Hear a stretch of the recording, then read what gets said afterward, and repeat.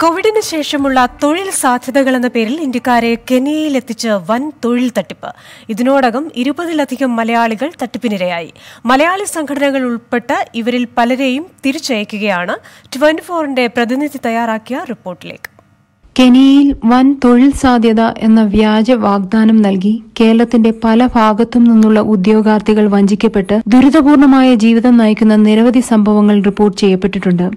രണ്ടു വർഷങ്ങളായി ചില വ്യക്തികൾ ഇരുപതിൽ പരം യുവാക്കളെ നിലവിലില്ലാത്ത ഹോട്ടലിലെ ജോലി വാഗ്ദാനം ചെയ്താണ് ഇവിടെ കൊണ്ടുവന്നിട്ടുള്ളത്. ഇവരിൽ ഈ നാലുപേരൊഴികെ ബാക്കിയുള്ളവർ നാട്ടിലേക്ക് തിരികെ പോയിട്ടുണ്ട്. ഞങ്ങളിവിടെ വരുന്നത് ജോലിക്കാണ്. അപ്പൊ നാല് ലക്ഷം രൂപ വെച്ച് നമ്മുടെ ഈ കമ്പനിക്ക് കൊടുത്തിട്ടാണ് ഇവിടെ പറഞ്ഞത് വിസയ്ക്ക് വേണ്ടിയും ടിക്കറ്റ് ചാർജും എല്ലാം കൂടെ കൊടുത്തിട്ടാണ് നമ്മളിവിടെ പറഞ്ഞത് വന്നതിന് ശേഷം നമ്മുടെ വന്നതിന് വരുമ്പോൾ തന്നെ വിസ ഫേക്ക് വിസ അവർ തരായിരുന്നു.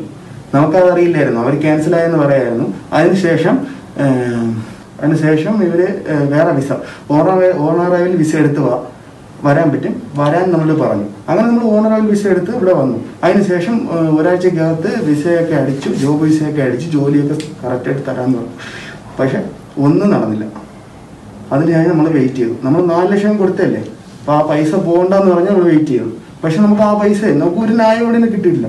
പൈസ ഒന്നും കിട്ടിയില്ല. പിന്നെ ലാസ്റ്റ് നിവർത്തിയില്ലാതെ ഇവർ ടിക്കറ്റ് എടുക്ക് തരില്ല എന്നായപ്പോൾ നമ്മൾ ഹൈക്കമ്മീഷൻ കമ്മീഷൻ പോലീസ് സ്റ്റേഷൻ എല്ലാം കയറിയത് നൈറോബി അയ്യപ്പ സേവാ സമാജവും വേൾഡ് മലയാളി ഫെഡറേഷനും ഹിന്ദു കൌൺസിൽ ഓഫ് കെനിയും സംയുക്തമായി സഹകരിച്ച് കേരള അസോസിയേഷൻ ഓഫ് കെനിയുടെ നേതൃത്വത്തിൽ ഈ നാലു പേർക്ക് വേണ്ട സഹായങ്ങളും യാത്രാ ചെലവും നൽകി അവരെ നാട്ടിലേക്ക് അയച്ചു.